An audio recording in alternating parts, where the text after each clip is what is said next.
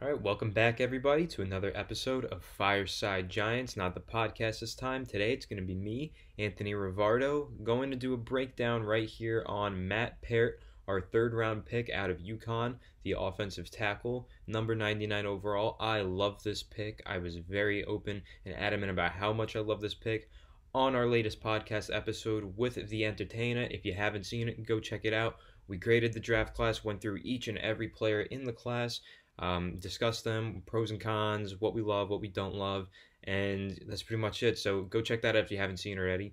But without further ado, let's get into this breakdown video of number 65 on UConn, the right tackle, Matt Peart.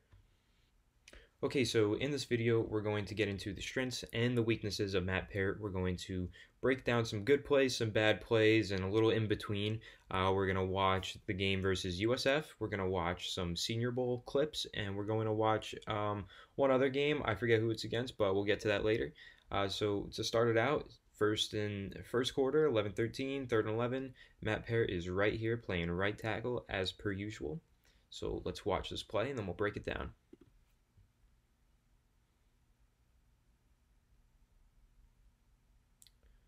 So if you couldn't tell, that was definitely a good play. Um, that's an awesome pass set from Matt Peart. So we'll try and play it in slow-mo here.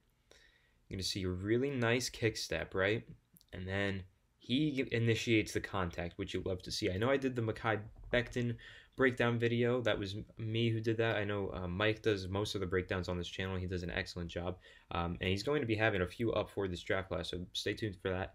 But I did the Mekhi Becton one like over a month ago, and – um, initiating contact was a huge flaw in Mekhi Becton's game. Uh, his hands would stay at his waist for like way too long, and then the defenders would initiate the contact, and it would create like a whole load of problems. Um, Becton, great player, great potential, not very technically sound, but Matt Peart has some pretty good technique here, and so we're gonna see, like I said, a very nice kick step to get to the spot. You can you can compare him to the other tackle, how he's in the spot and he's he's getting there quickly and he sets up after initiating the contact. He's got him, and you're just going to see he mirrors this pass rusher all the way and easily just pushes him backward. Um, he doesn't give up an inch. There's, there's no push inside of the pocket off of the edge here. He easily just redirects the edge rusher backwards. He just mirrors him the entire way. And that's my favorite thing about Matt Peart because the footwork is phenomenal and it allows him to literally just mirror defenders. He can, they'll run a circle and he will be able to run that circle with them and not let them get to the quarterback because he has just such quick and agile feet and he's able to stay in front of them the entire way. Even if he does mess up with the hands sometimes which he does and we're going to get into that the feet are typically always a positive. Um, he always is able to mirror the defender and stay in front of them. And this play is a real perfect example of it. Okay so here's one of the negative plays i have from matt peart uh, you're going to see it's actually a decent play, but there's something wrong with it. He's right here. It's going to be a run play. I like the technique in run blocking to seal off and open up this hole, but what I don't like is you're going to see how vertical his body is. There's no knee bend. He is getting pushed backward. Uh, he has no strength going into this block. He's not anchoring down and really pulling this defender away. He is allowing this defender to easily just walk him backwards uh, and that's just he's he doesn't have the strength yet. Uh, and this is going to be a problem at the NFL level if he doesn't add this strength. He needs to add this strength because you can't just be walked back like this. You can't be standing straight up as an offensive lineman. Um, think more uh, how this guy is more horizontal. Uh, he's more vertical, leaned forward. That's how you would want to see Matt Peart be right here. You'd want to see him driving this defender back while sealing him off, not just getting walked backwards towards the running back. He does anchor himself, um, and he doesn't let this defender get to the running back, and he opens up a nice hole for a touchdown right there. But obviously, we're not talking about playing against UConn competition. We're talking about playing against NFL competition. He might not get away with this. He might get put on his backside uh, if he's letting a defender walk him backwards like this and standing straight up because uh, you just have no leverage in that case. Yeah, I really like when we're able to get these sky cam views where we can see the entire offensive line straight on and how they react to the defenders because it really lets you look at an individual battle right here. And that's what we're going to do with Matt Peart um, against this edge rusher. you're going to see this is going to, going to be a play where I'm going to demonstrate his bad hand placement. So let's roll it. Yeah. So you see he gets out of his kick step is good, his footwork is good, but look at what he does with his hands here. They're so wide. There's no strength being put into that. He's about he's trying to clamp and put his hands on each one of the defender's shoulders rather than keeping his elbows tucked and blocking, he's trying to grab the defender by the shoulders. And, you know, he, he kind of misses with the left hand. He gets him with the right hand and he grabs the shoulder. Uh, he gets this one low, which is actually a good thing. Low and high, that's what you want. But look at how hunched over he has to get and so off balance because of the way he did this. And, you know, quite frankly, if he's lining up against Khalil Mack and he puts his arms that wide, what's Khalil Mack going to do?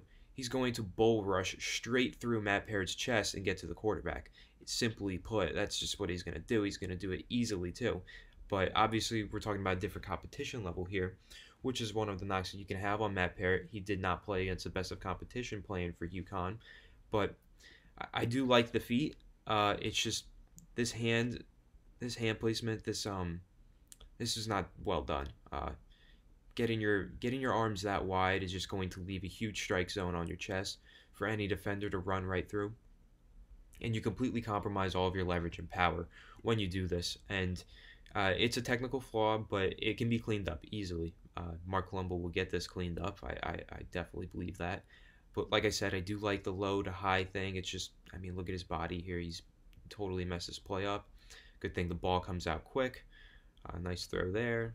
But yeah, I, this is something that can be worked on. It's just the hand placement here is just one example of it not being so good. So here's a really nice pass set at the beginning of the fourth quarter of this game versus USF. Uh, again, lined up at right tackle right here. You're going to see him really mirror this defender well and then finish the play really nicely.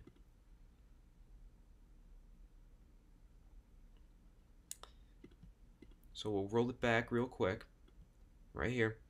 Uh, he gets out of his stance really quickly. You can see in comparison to the rest of the line, he's out of there fast. Nice kick step. And he gets his hands up. You know, he initiates the contact, which we always like to see. And what I do like about his handwork is he's able to grip and pull. He's able to get his hands inside and grab these defenders and control them, which is what you want to see. When he does it right, he does it really well. Uh, it's just he doesn't always do it right like the other play that I showed where his hands got too wide and he compromises leverage, yada yada. But you can see here, and this is the knee bend is actually really nice here. I know another play that I'm going to point out, uh, the knee bend was not so great, but on this play, he gets out of his stance quickly and well, and he initiates the contact, and he's able to grab here. And I just love how he's mirroring the defender the entire way. Look at how his body just pivots with the defender. His feet just stay with it. And you know, and then if you watch the end of this play here, he's able to pull him down because he had that nice clinch uh, with the hands inside, and he grabbed him and he pulls him down to the ground, and he's able to just get on top of him. I love it, the tenacity. Uh, this is just a great play in pass protection by Matt Peart. Uh, this is where you see that NFL potential and why he was a really great pick at 99 overall. All right, so here's a really nice athletic play in the run game by Matt Peart. I believe that's how you say his name. You're going to see he's lined up right here at right tackle, and they're going to run the ball to the right side and score a touchdown on fourth and goal. It's a clutch play, but it can't be done without the great blocking by Matt Peart right here.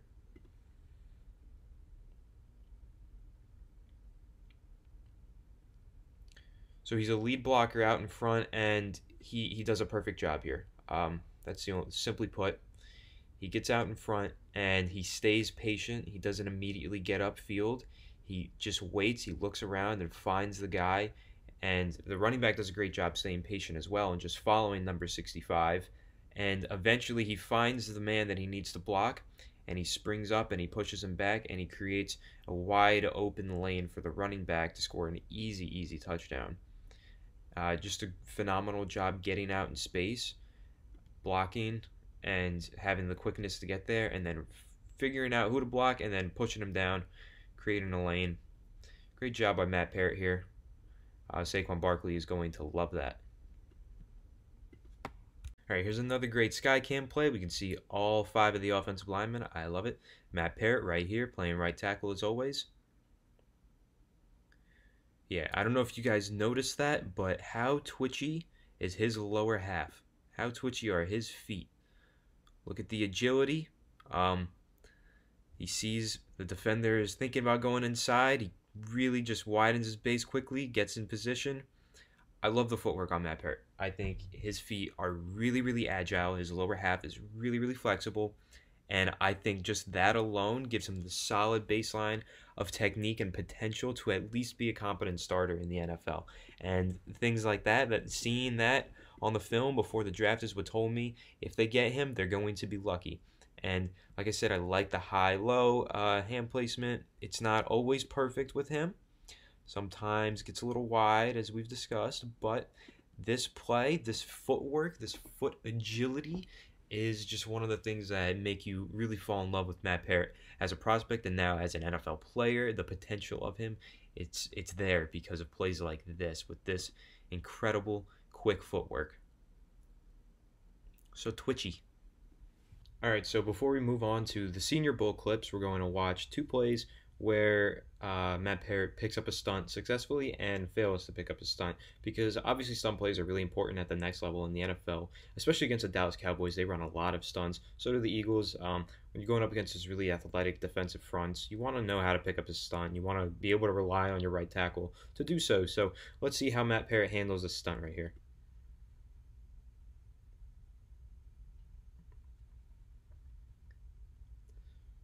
So wow, that was a laser throw. Um, but we'll see it from this angle as well. Yeah, I mean, it can't get much better than that. Maybe it could, uh, but I don't think so. So here he is. I don't know. I keep, pointing him out, but you're gonna see he helps a little bit here. Uh, maybe he thought that was supposed to be his guy, but he saw this stunt coming and just watch that lower half get to work. Watch that quick footwork let him get in position. He was out of position. Let him just quickly shuffle into position. Nice hand placement and good contact initiation, as we've discussed. And then he mirrors the defender and he just easily glides him back out of the pocket. Gives a lot of cushion for this quarterback to deliver a really nice throw. Let's watch it from the, the other angle, too. So you're going to see this is the guy he's going to end up picking up on the blitz. He's going to come around this way. This guy's going to come around this way. That's what a stunt is. And so he's in position for this guy. And then that guy goes inside. So what does he do? He moves inside with him, but keeps his eyes straight ahead. He keeps his head up, and he sees that blitzer coming. And he's able to get off of this block of number 42, focus on number 11, because look at how he just completely changed his direction uh, with his feet, with just a really quick lower half. With really quick feet, he's able to shift his body, shift all of his weight, mirror himself to that edge rusher, step in front of him, and anchor down. Uh, yeah, I really like the, the hand placement as well, high low. Uh, he's got his hand right on the strike zone, right in the center of the chest. He's going to grip that, make sure that he doesn't get walked backwards this time. And yeah, I just think this is an excellent stunt pickup. We're going to get into it one more play after this where he doesn't pick up the stunt as well, but on this play, I think it's a really great demonstration, once again, of those quick feet, that great footwork, and he's a high IQ player. That's what he is. Matt Peart is a high IQ player.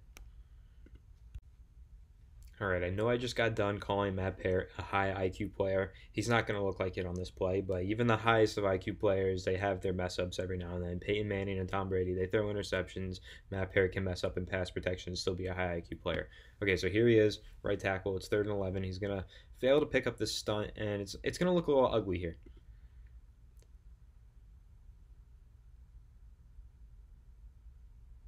So he never saw it coming. Um, you know, let me let me play through the whole play so you could see the result of it too. Ends up being a fumble. It wasn't his guy who forced the fumble. It was someone else's. But here we go. He sees this man, and this is who he's going after. This is the guy he's got to pick up. Uh, it's more of an inside linebacker blitz. Maybe you could say that it's not a stunt. Uh, I think the way that they ran it, how they, they crossed those two defenders, and I, I think it, it does classify as a stunt because he is supposed to pass this man off to the left or the right guard, sorry, and he's supposed to pick up the blitzer, but he doesn't. He, he doesn't see that blitzer coming, and he just tries to move this guy across the line, and he he he just doesn't see this guy coming. He leaves his right right guard um, like a deer in headlights. He's got to try and recover. He, he doesn't really. He does. He recovers, but not well. So let's see one more time. We're just going to see he gets locked in on this guy. You see, as soon as his hands went up, you knew he was going after this guy. He didn't ever see this guy coming by because, you know, he puts his head down and he just tries to lunge forward so that he can move him across the pocket because he doesn't really have the strength to do it any other way. But it, it, him just putting his head down makes it so he can't see this actual blitzer that he's supposed to pick up and he does a good job of pushing this guy across the pocket that's that's the right thing to do if that's his assignment, but it's not. This is his assignment, and this guy was supposed to get this guy. Um, the, the right guard was supposed to get the the rusher that Matt Peart is getting. Peart was supposed to just allow him to mo- move over to the right guard and then stay right here. Because look at this huge lane that Matt Peart is just allowing uh, to the quarterback. He's supposed to stay here, uh, stand strong, and anchor down against this guy. But obviously, we just discussed how he did the wrong thing here. So Matt Peart, Matt Peart was indeed a participant at the Senior Bowl, and I have a few clips from that uh, Senior Bowl practice week where you're going to see some of his strengths and weaknesses come up there. Uh, this time he's going up against Josh Uche out of Michigan. Made it pro this week. Congratulations to him, the both of them really. And Uche is going to lose this battle to Matt Peart. Um, he's going to win some others, but this one he's going to lose. You're going to see this right here. yeah, well done, well done by our, our new right tackle of the future, possibly. Um, so you're going to see nice footwork, gets out of his stance quick, meets Josh Uche there, and look at this hand. He's got one low, one high, perfect. Gets him right on the chest, grabs and holds, clinches him, controls him. Uche tries to get the corner. He can't because of that excellent hand placement to start, to initiate the contact by Peart. And he's going to basically just be able to put him in a headlock. Uh, I mean, this is an excellent pass pass set. Uh, probably shouldn't do that at the end. That's that could be a hold, but you know what? We can clean that up. Um, I just love the footwork and I love the hand placement to initiate the contact. High, right in the chest, boom. Uh, keep that one low. And, you know, he clinches, he holds well, and um, not in holds as in holding, but he clinches and his strength is strong enough to anchor him and keep Josh Uche from picking up more speed. And I guess this is supposed to be the simulated quarterback on this drill. And yeah, that's a that's a clean pocket right there. I would say um, he, he stood him up, and that's that's a perfect pass rep. Okay, more stuff from the Senior Bowl going against Josh Uche again, and he's not gonna win this one like he did the other one. So he's playing left tackle this time, so maybe that has something to do with it. Obviously, Matt Peart played right tackle in college, um, or at least his final two years of college. He might have played left tackle his first two. Uh, correct me if I'm wrong about that. But going against Josh Uche, uh, real speed rusher here. I don't know if you guys know this, but Josh Uche has a lot of speed off the edge. And you're going to see he struggles with that. Uh, Matt Peart definitely struggles going up against ultra fast defensive ends, edge rushers. Um, he struggled a lot with it versus Uche and Zack Baun here at the Senior Bowl. We're going to pull up some of those Zack Baun clips because they weren't pretty. Um, so yeah, you know the initial footwork. Uh, let's look at the kick step. Okay, the kick step is good. Ah, but that his feet get they get put in cement. Uh, they get still, and he misses this initial contact blow. Um, you see that's not good. You don't want to get your feet still and plant them and try and anchor before you even made contact. Um, you definitely want to keep gliding with him. We've seen him do it before. We've seen him mirror edge rushers before. I'm not sure what happened here. Also, um, no, never mind about that. Yeah, so the hand placement, he completely whiffs on that and he rides the hip. And Uche has the speed to just fly by him. Uh, this is something that probably didn't happen to Matt Peart a lot at UConn. He probably didn't feel that type of speed off of the edge, and that's why he's going to have to get acclimated. I don't think he's a day one starter uh, on any team. I think he would have he would have had to sit at least half a season on any team. And I think for the Giants, they they have the depth at offensive line where they can let him sit for a year and develop. and I think a play like this is a real perfect example of why he needs to. Uh, I just don't think he's ready for this type of speed yet. Um, so yeah, you'll see one more time. We'll roll it back. You're going to see the feet are fine to start, and then they just get flat and they stop moving. And he tries to lunge forward and make this block, but that speed, uh, it's not going to happen. He's completely off balance here. He's riding the hip. Not good. Uh, there you go. You can watch one more time at full speed. You see the feet plant. They get still. He misses, and he gets beat. Okay, now we're going to look at Matt Parrott versus Zack Baun at the Senior Bowl. We just looked at a clip against Josh Uche. So now let's switch over to Baun. Another loss here for Matt Parrott, unfortunately, but Zack Baun was a great prospect. He did have round one buzz. I know he fell. I think the diluted um, or the, the the drug test that didn't go well. I don't know if he had the diluted one. That might have been Mekhi Becton. It's all blending together now. But anyway, you know the story. Uh, he fell because of a failed drug test of sorts, uh, urine sample or something. So, but he's still really talented. He is like a first round eh, or early second round talent. And he's a great pass rusher. He has a lot of speed off the edge, and we're going to talk about how he struggled against the speed rushers here at the Senior Bowl, and you're going to see that on this play. So this time, um, he chased them all around. Uh, this time, I wouldn't say that the feet get flat and cause the problem. The feet move the entire time. You know, it's fine. Um, he probably should have gotten a little bit more on an angle, a little bit further back here, uh, going against such speed off the edge. But then again, he, he really didn't know what was coming at him. Um, I think just this is great hand fighting by Zack Baun to really chop this hand away by Matt Parrott. And I think that's it's a it's just a great win by Zack Baun more than it is a bad loss by Matt Parrott. Um, look, I mean, you can see what Baun does there, and then he tries to swipe that hand away. And, you know, this wouldn't have let up a sack. You can get by with this, but it's at least a pressure. And if for some reason the quarterback is not paying attention, uh, maybe he gets whacked here. I, I doubt it, though. Uh, it's not like a really terrible loss, but, you know, it, it's not a win. Um, I, I, again, I don't think the footwork is the problem here. I, I think the footwork is fine. I think his feet are still really nimble, but I just think he let he, his hand doesn't. It just gets chopped down really quickly. Um, it's not it's not coming in there with a whole lot of force and power.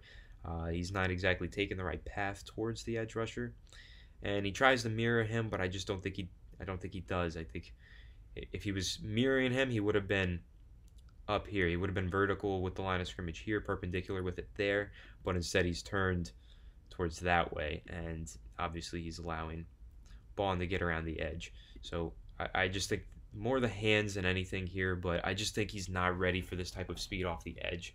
Uh, playing at UConn, I don't think he really ever went against such talent and uh, strong competition like this, and I think it was a little bit of a wake up call for him when he got to the Senior Bowl. Uh, we also have this angle right here. Yeah, you're gonna see. I mean, it, this angle actually does make it look a little bit worse. Um, so you know, he actually does place that pretty well. I'm not gonna lie. Uh, the hand placement there is pretty good. But where's this right hand? Where is it? Yeah, it's nowhere to be found until it finally gets on the back of Zack Baun. Uh, it didn't get up quick enough. The hands weren't quick enough. Um, and like I said, I think he should be going this way, not so much this way. Uh, he gets turned really easy here, but I just think it's such a great play by. Uh, you know, that could actually potentially be a hold right there if he's just grabbing onto Baun's neck. But I just think it's a great play by Zack Baun. Uh, it's a great pass rush, great hand fighting. He does an excellent job uh, pushing pushing Matt Parrott's hand away, and I just think, you know, I, I think it's the hand placement with Matt Parrott. I think if he if he has to improve on anything, that's what it is. It's the hand placement. Okay, so this next play is from UConn's matchup against Wagner. Matt Parrott again lined up at right tackle, and you're going to see this is a negative play. So let's break it down.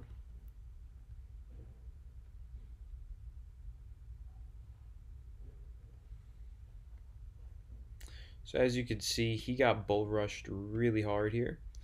Um, let's see what went wrong. So footwork looks fine, and he's there. He's in front of him.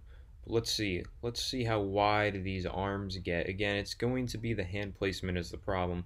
The hands are really wide here, and he leaves a giant strike zone on his chest once again. And the defender takes advantage of that. He bull rushes right through, he puts his hands right on Matt Parrott's chest, and puts all of his strength into it And Matt Peart, just simply put, does not have the strength to defend against the bull rush right now. Uh, that's definitely another thing he needs to work on that I've mentioned. He needs to work on adding strength because it's not up to NFL level yet. And fixing the hand placement is going to go a long way as well. Because as you can see on this play, when those two flaws combine together, it's ugly. This is a sack given up by Matt Peart just because he got pushed so far back into his quarterback that he ended up tripping his quarterback. So this is a given up sack by Matt Peart here, and think we've identified the two main problems uh, that caused it. All right, here's another play where I'm going to make the point that Matt Peart needs to add strength at the NFL level. Right tackle once again. Let's see it. So he's going to be pulling here, uh, trying to be a lead blocker right out in front of for his running back. And so he gets off the line and initiates this contact well. Probably the hands are a little too wide again. Um, uh, you know, it's not too bad, but just look at how he gets stood up. Stood right up here. Does not get any push on this lineman. Does not walk him backwards at all. Um, you know, definitely the hand placement is part of the issue. I, I don't think that's necessarily bad if he's doing a um, a different type of block, but as a as a pulling blocker getting out in front, I don't think you want to be doing that grab technique there. Uh, so definitely hand placement's a problem again, and then strength once again. Um, just gets stood up there. You can see it at the end of the play even. So he's gonna pull, gonna gonna run into the guy, and it's basically like he ran into a wall. He doesn't get he gets walked backwards a little bit, doesn't gain any ground. Um, to be fair, not much of the offensive line did much here. Uh, he's the only one who actually made a solid initiated contact block. Look at all these guys who just whiffed pretty much. So he did better than them, um, but you definitely want to see him go into that block and put a little more oomph into it and knock that defender backwards and not get pushed back himself. All right, last play, not the best lead block. This play, a lot better. So let's check it out.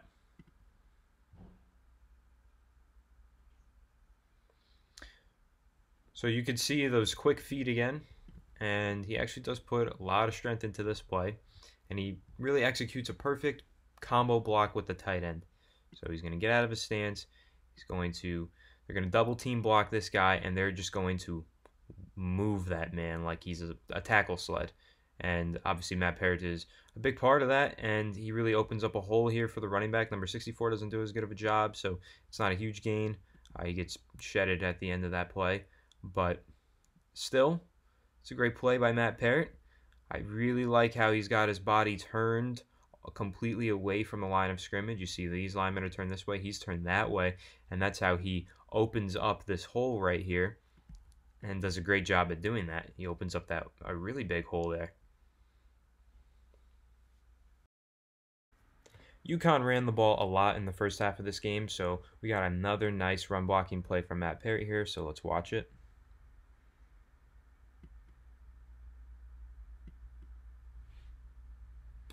And did anybody else see those pancakes? Matt Peart dropped a few pancakes on the field. All right, here he is once again. Let's see. So he lets that guy go. There's a pulling guard who's going to get him. It's a trap. And he gets to that second level. Gets in back in stance, widens his base, initiates the contact, and then he finishes the play. See, I, I do like how he, he gets his hands inside and holds onto that shoulder pad. It's it's the way that you control the defender. It's it's a really good advanced technique by an offensive lineman. It's just sometimes a hand placement. It's not about the hand strength because the hand strength is there and the grip is really good on Matt Peart. It's about sometimes he misses and he doesn't really hit the right strike zone. But as you can see right here, really nice, strong hands, gets a hold of the lineman or the defender, the linebacker, and just flattens him. I like how he just kept running afterwards too. He did it with a lot of ease and just kept going. I uh, was ready to take another guy down if he had to, but he didn't have to. So I like this play. I like how he gets to the second level pretty quickly, and then I like how he flattens the guy. Man, that, that's that's what you love to see. Alright, so before we wrap up this video, I want to get one more pass blocking play in there. Since a lot of this video had his run blocking plays, I want to get one more pass blocking play. So here he is at right tackle against Wagner again, and you're going to see a really nice, smooth pass set where he mirrors the defender again.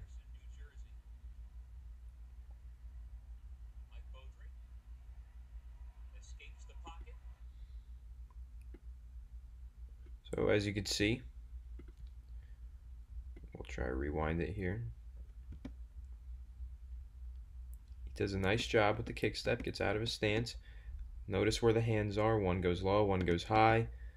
Uh, probably gets a little wide there, but he does initiate the contact. And what I really like about this play is you can see at the end, when the quarterback steps through, this defender can't get off of this block because of where Matt Peart's hand is. It's right on the chest, and it's got a really nice, strong grip on the defender's jersey, which is what you want to see. You want to see him clinching on and keeping that defender from getting away here, which is what he did. And he, he gave the quarterback some room to run and pick up a few yards.